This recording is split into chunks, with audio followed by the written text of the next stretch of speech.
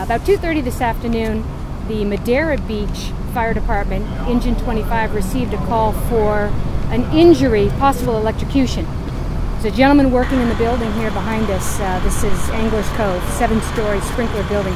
He was working on the first living floor, the second floor of the building, doing some electrical work. He apparently was injured in the work that he was doing, and a fire started in the electrical room.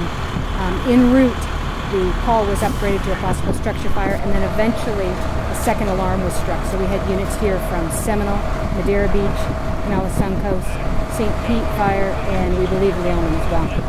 Um, what ended up happening was uh, the building fire alarm went off and the building evacuated. This is a building of approximately 45 units. Right now, 35 of the 45 are occupied. Everybody was able to exit the building without any incident. We had um, a sprinkler activation in or near the room of fire origin, which um, further caused some problems. So we had uh, some fire damage isolated to that one electrical room on the first living floor, a lot of water and smoke damage to other floors. At this point, the, the uh, Duke Energy was called in to discontinue the power to the entire building, and it's unknown if these folks are going to be able to get in tonight.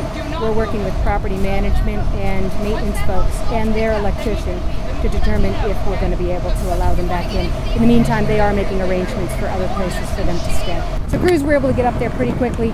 Um, smoke was really our concern. We did not put water on electrical fire. We discontinued the electricity, the electricity to the building first to, um, to secure it.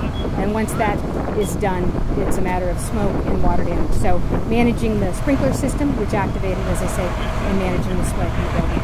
Um, injuries to the gentleman are unknown at this time. I can tell you that he was transported to Tampa General, and typically when we um, have burn injuries, that's where we'll send people. So I only know that he was a male, and um, he was known to the maintenance crew here that, that he was doing the work. Residents reported that the power had been on and off during the day at various times while he was doing his work.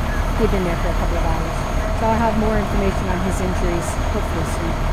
Uh, fire marshal is on scene, and we brought in the state as well for the investigation because of the injury.